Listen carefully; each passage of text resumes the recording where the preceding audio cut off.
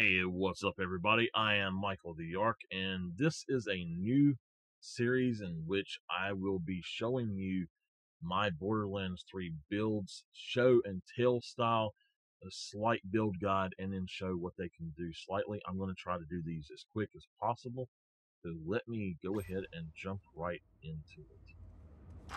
So, the first thing I want to show is the skill tree. Uh, just going across, I have five, five, five, one, one, one, one. This is three, one. This one is three, and then it is capstone with one. I I use this in action skill two, and it is using bad dose and boomsday. You can switch out boomsday with uh, drone now if you want. It does work again. You can also switch it to static field if you want, but I feel that static field doesn't do very good. Uh, the Almighty Ordinance, I don't really like at all. I haven't been able to get it to really to work well for me. In the red tree or the now this is the Sentinel blue tree or Hitman. In the double agent red tree, which is the Digiclone, uh, we have five, one, five, five one two one one one one one one one and capstone as well uh, with one and uh, this is my action skill one we have it set for binary system and uh, Schadenfreude. I'm not exactly sure if I said that right, so please forgive me. Uh, this one, as my clone takes damage, uh, my shields are restored. It's excellent. It, it's really good. I like it a lot. Uh, uh, this, when you swap, you get a Cryonova. You could swap that out for Doppelganger. It's okay. Um, which one is real? I don't think would.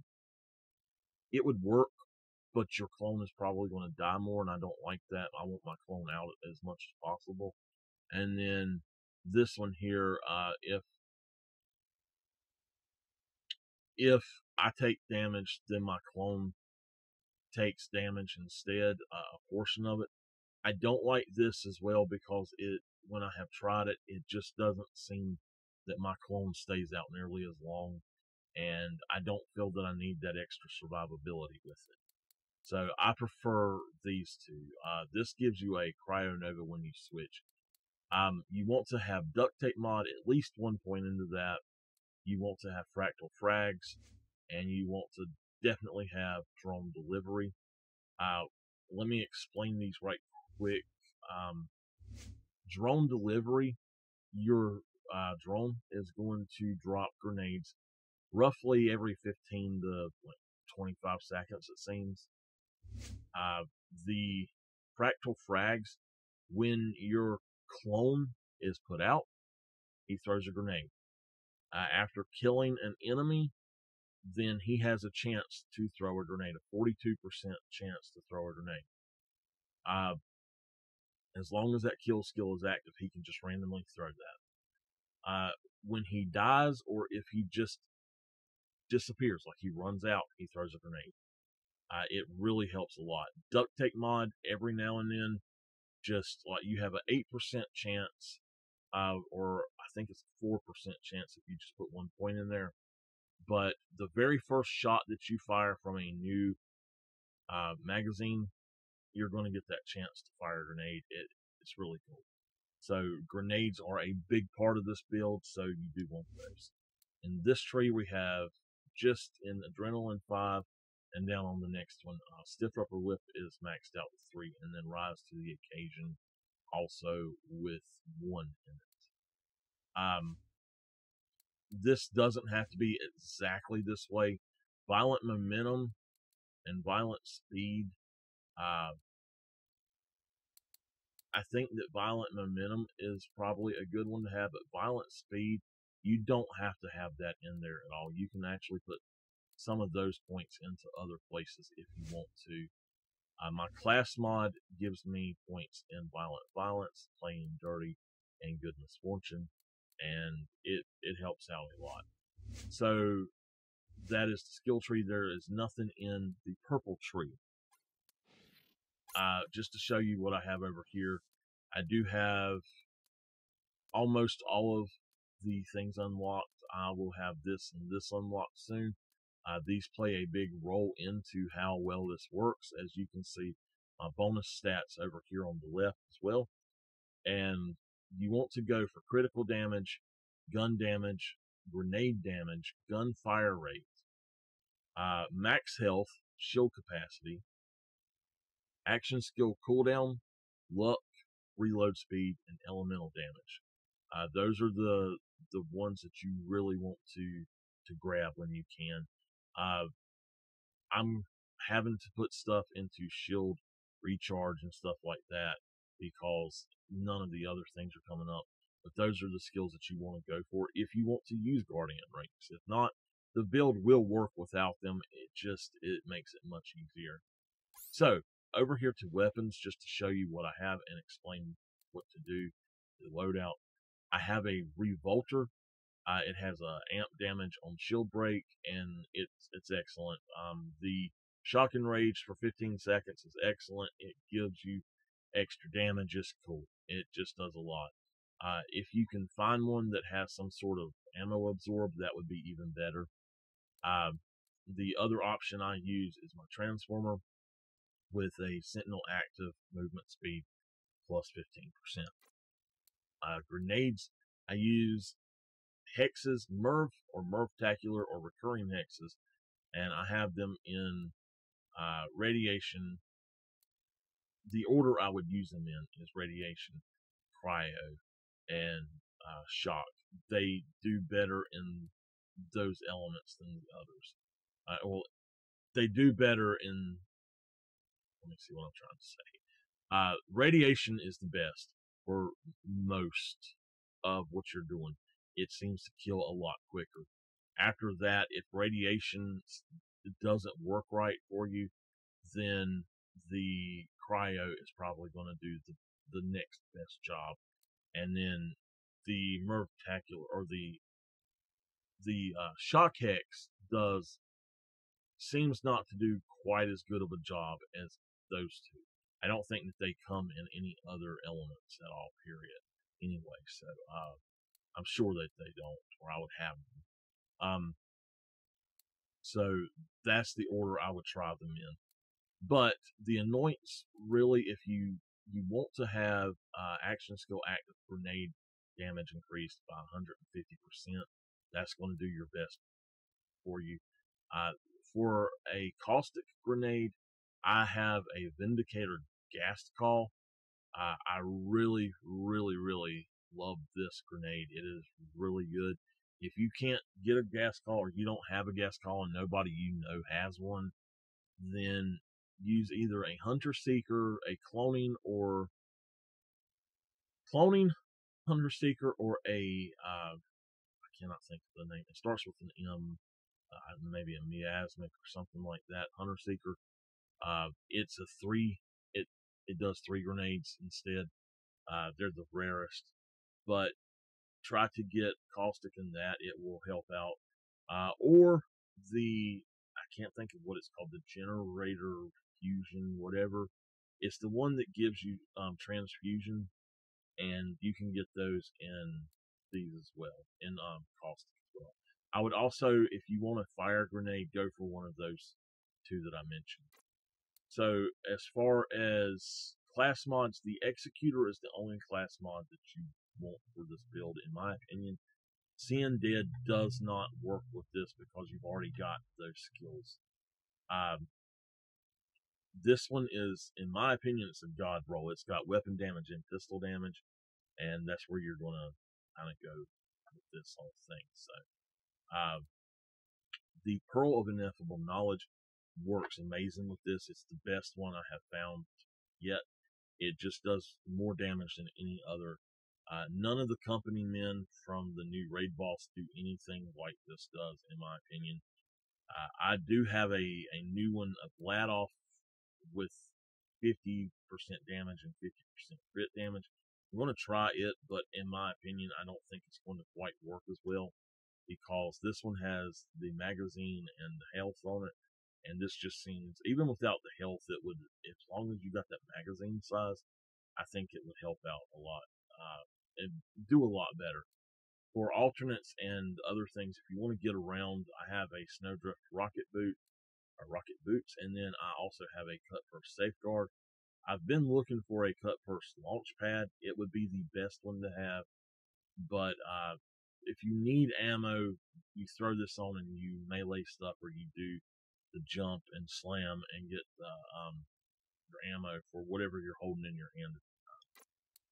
As far as weapons go, you I've got light shows in both of these. This one regenerates ammo, so I run with this one more than anything else. Uh, this one has ASA 200% damage, and it is absolutely amazing. It is so cool. It melts everything just about. Uh, this one, you just hold down the trigger and then you let up and you it refills really quick. So it's like an infinity. Uh, it's like an infinity on steroids. Uh, I do have the nuclear and the shock one as well, and some other alternatives that you could go with for handguns are the Roisen's Thorn, the Hornet. Uh, I still have my Molten Infinity. It works okay for certain things still. Uh, the Free Radical is really good as well. And then I have a Thunderball Fist with ASA 200. I need to re-roll a lot of the action skills, uh, but these are the weapons that I would use anyway. So the next slot down here, usually I would keep either a sniper rifle or a uh, a shotgun in this slot, but I've just got my two pistols because I have ammo regen on this one, and this one is for the damage. Uh, if you just get a, a molten light show with ammo regen, it would be just fine. You wouldn't even have to have this. I will tell you something about light shows though. Uh, if you can get a light show that does not have a, a sight on it, like that's got a four times weapon zoom, they suck. They really uh, make it much harder to use. You want a light show that does not have a sight on it at all. Uh, so I have a decaying star helix here in this one, and this is for radiation. Now in this slot, you're going to go through uh, several other things you can put in. Anything that is not starred over here, by the way, is just stuff that I, it's not in my build. It's just things I need to put in my bank. Uh, I have a Chaos Sun a Fire one. It's, um, okay. It's not really something I'm going to keep. I'm going to actually give that to my next Thane build. Um, but it will do the job if you don't have a another one.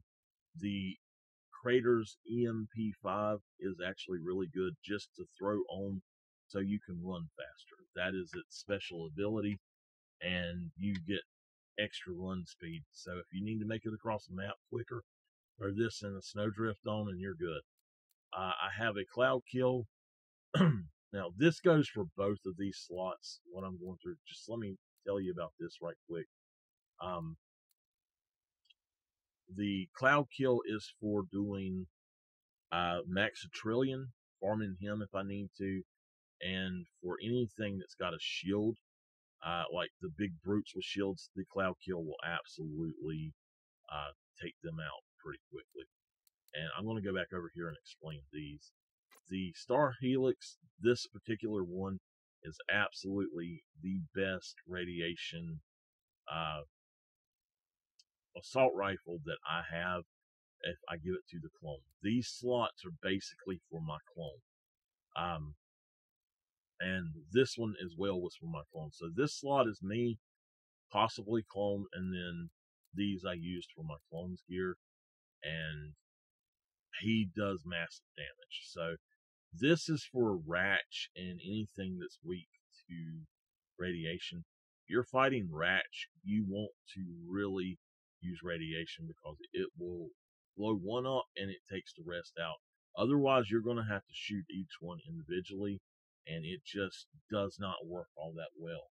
Even with the brainstormer and uh, the reflux, it doesn't work all that well with them. Uh, the Embers Purge is, if anything is on the ground and it is weak to fire, Uh, this thing, besides the Psycho Reaver, this thing will melt it. Uh, it melts the raid boss in the clone's hand, in Hemovorous and Vermivorous. This will melt them. Uh, in this build, you're not going to really need the ASE 200 splash because you want to have your clone and drone up as much as possible while in battle. So it'll never proc. You need something different. I have the one with the elemental critical hits.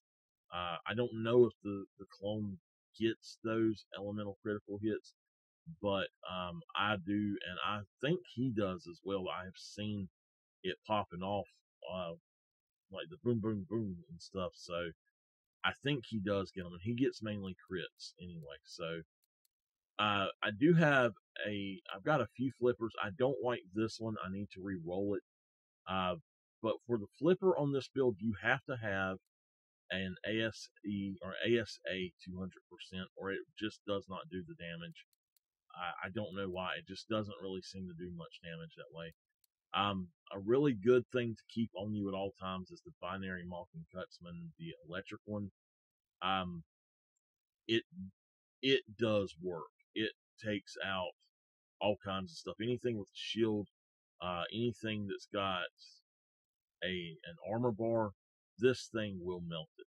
Uh, it works better than the fire one. It works better than the caustic one as well, in my opinion. If you need one and you just have room for one of these things, just go with the electric. I have a Dark Army Plus here. Uh, it is a caustic one, and I will throw this on my clone, and I will use it at the same time. And basically, just I'll shoot and reload, and then I'll let the drones from the gun run around and kill stuff. It's really cool. One of the absolute best guns for this build is the binary DNA. Uh, you give this to your clone, it doesn't matter what the enemy is weak to or immune to, it's got everything built in there. This thing on your clone will kill. Uh, it's really good. So again, I have a, a flipper here with ASA 200. I need to re-roll this one to that. I would like to have a flipper that is fire and caustic instead, but it's fine to have this, I guess. Um, I do have a Breath of the Dying. It is one of the main guns for this build, and I'll usually have it here. Uh, you throw this on, give it to your clone, and stand back. He will kill himself pretty quick with this, but just pop him right back out with it. If you're taking on a bunch of loaders and stuff, there's no going wrong with this really. Uh, I have a Pestilent Monarch to test it. It's okay. It, it works pretty good. Um, also, I do have the, the Molten Monarch. It works fairly well with this. You really want on all of these, you want ASA 200% damage or uh, Sentinel, uh, Sentinel Cryo. Um, I have also the Nuclear Monarch, but the Decaying Star Helix is much, much better than the Nuclear Monarch, in my opinion. Uh, I have a Shocking Trained Chaos because I wanted something that I could use if I really wanted to have a, an assault rifle with shock, and I was trying these out. I like this one. This one's okay. They're about the same. Uh, it the Star Helix and shock damage, I think, may actually be even better in the clone's hands if you really wanted to go that route. Uh, also, I have a double penetrating uh, Bearcat, so I, I consume two ammo Bearcat that is shock, and I love these things. They just do damage. They they do work, and if you want splash damage, boom, here you go. Uh, this thing against scrap traps, they're gone. Uh, same with these two. You've got your brainstormer or your reflux. It just arcs out to everything and it destroys. I do have a Trevonator in uh, fire and acid, and it works wonderful if I want to go that route. Uh, the Hellwalker is another thing that I absolutely love, and it is essential to this build for some of the bosses and stuff. It really helps out. You can give it to your. I, I what I usually do is I take the Hellwalker now, and I give the clone the Ember's Purge if it will per- or proc on whatever the enemy is, and we go to town. Uh, the lob I'm just testing, and I I actually it works, but it's not for this build really. And same thing with the back burner. I don't neither one of these I like with this build that much. Uh, if I want to use just a rocket launcher, the potent satisfaction uh, with action skill active, 200% is what I'm using. It works pretty good. It's nothing great, but it works pretty good. Uh, I have an ASA 200 Plague Bearer, and this is my rocket launcher that I suggest uh, taking with you everywhere. It's really, really good. Uh, for my clone, I do have two Sandhawks Fire and a uh, Fire and Caustic, and I just give them to him when I really need them to do some sort of damage, uh, a little bit different damage than, say, the, the Purge or something. Uh, these things melt, like Wotan and all the, the big bosses and everything. So also he's really good with the uh, compressing storm. I use the compressing storm as well uh, sometimes, and it's it's just absolutely amazing. If you're going to use the storm or the brainstormer, you might want to put on the transformer. Um, and for me, not the clone, I use the Stark Krakatoa as well sometimes. Uh, and that is pretty much that. Now I'm going to switch over and I'm going to give a run through of Athenas really quick, just the first part to show y'all how it works. And let's get over there. All right, we're out here on Athenas. I am going to drop my clone on, with the Purge. I'm going to take this, let off, and you can see my ammo is regenerating. You can see how quick it takes care of them as well. Now, if I was to switch over, you can see with the ASA 200, you really have no nothing that can stand in your way with this. Got any more for the meat grinder?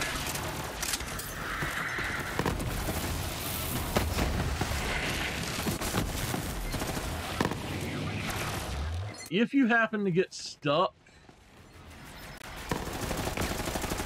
uh, you can also switch to this if you need to.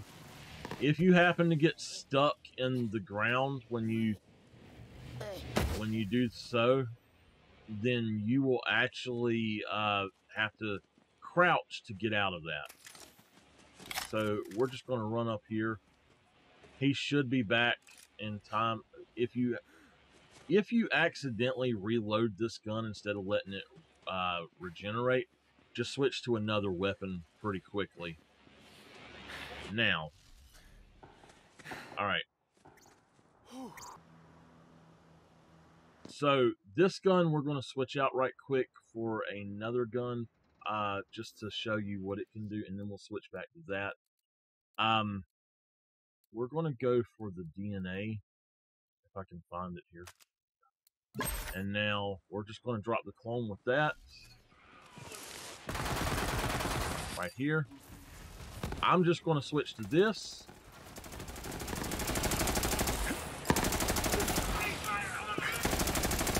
You can point with your uh, your drone there.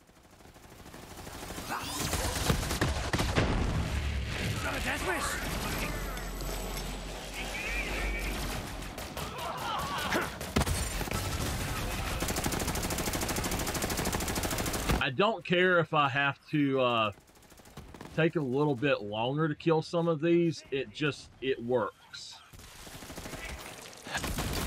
It might take just a tad bit longer to use the caustic one, but that's where I'm getting my ammo from, so it's fine. Now this guy, a flamethrower, boom, he's gone.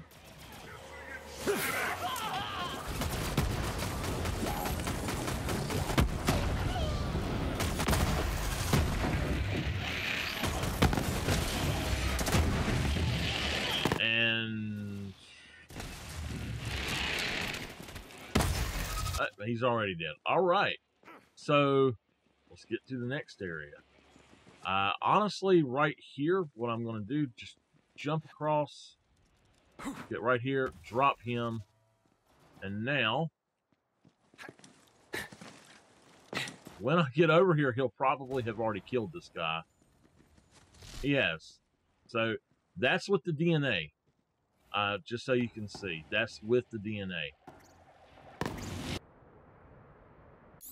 All right, this time I'm going to show you dropping with the Brainstormer and then me using the ASA 200 flipper just to show you how that works. So I'm going to drop him here because he's at the water.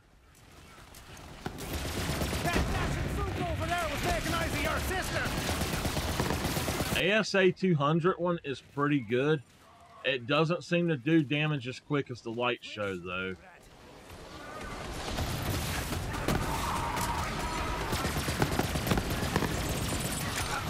this is at radiation. If I switch it, yeah. But as you see, uh, yeah, everything's already dead. So the next one we're going to go to, uh, we're going to show a different thing. All right, against Ratch, I'm going to show you how the radiation star helix does, and then I'm going to just switch to a light show, and we're going to go through this area right here really quick. So we've got this. Drop him. Pop him.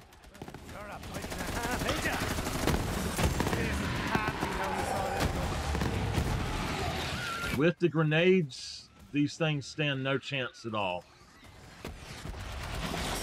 Pop him here. 86 those pricks!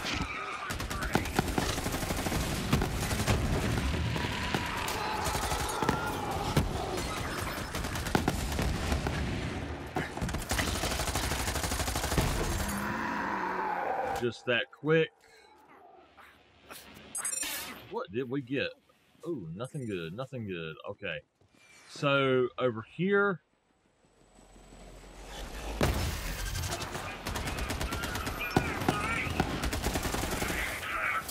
Just that quick.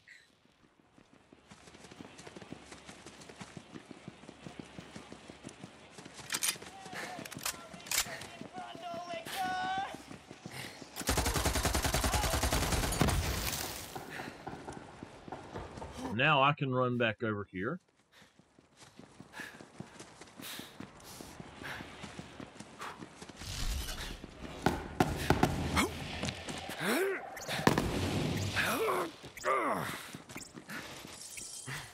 And he's ready already without the without the drone. I'm just going to drop him here.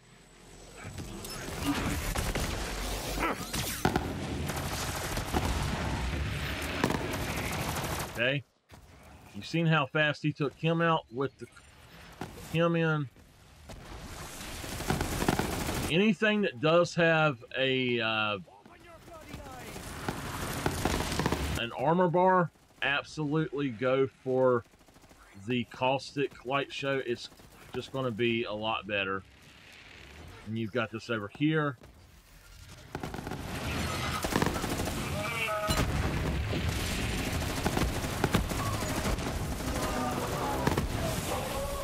Now, this is Mayhem 11, if you're wondering. And I will put my stuff in there and show you how easy Trump is with this. And for the finale here, uh, we're going to just jump down in here and, yeah, you'll see.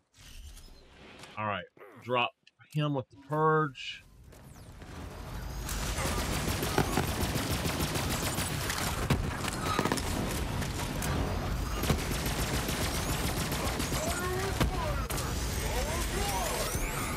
You want to get behind him.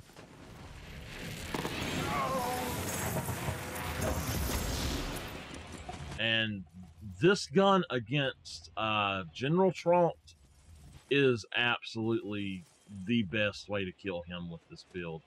Uh, if you want to go for Graveward, I would use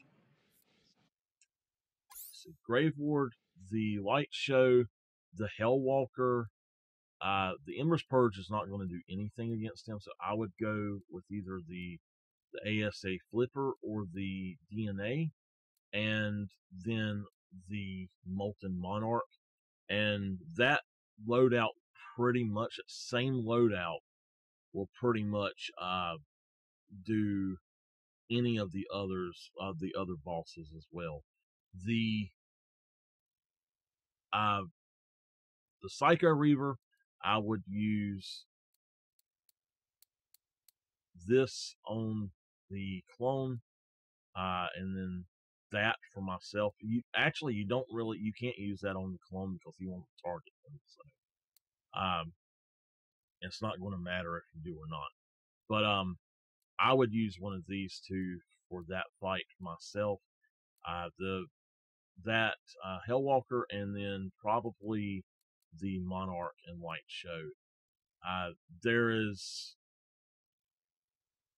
as far as an SMG for that, I would say the double or the ASA 200 flipper would be the best probably. Um, and yeah, pretty much those will do everything you need. If you want to on Tyreen, you throw on the Star Helix, and when she goes down on her knees, you just jump to her her right shoulder, so you're going to be on her left side, or I guess her right side. Uh, it'll look like you're on the left of her, and you shoot up over her shoulder, shoot the spot up there with the Star Helix or a gun that shoots in a pattern, a, a straight pattern or that pattern that's horizontal. You can uh, skip the climbing step easily that way. So that is this build and how it works. And I will be back with some of my other builds and show y'all how I do those. Now, I am going to say right now, all of my builds don't work this well. None of my others work this well at all, really. But that's they're just builds that I have fun with, and I've been asked to show them. So I will see y'all in the next one.